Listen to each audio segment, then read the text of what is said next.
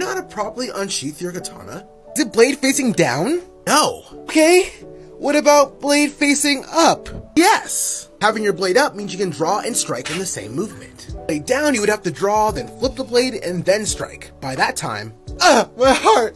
also, if you sheath or unsheath a katana blade down, it's going to damage the sheath and dull the blade.